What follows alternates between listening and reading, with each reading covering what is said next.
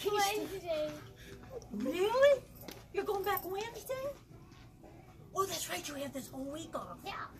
Is your dad staying too? Are you staying too? For a couple days.